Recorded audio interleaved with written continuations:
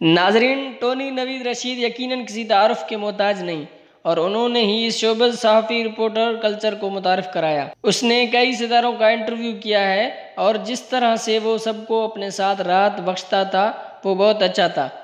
इतला है कि टोनी आज इस दुनिया को अलविदा कह चुके हैं। शोबज इंडस्ट्री से ताल्लुक़ रखने वाले तमाम लोग और उनके मदा भी सदमे में हैं।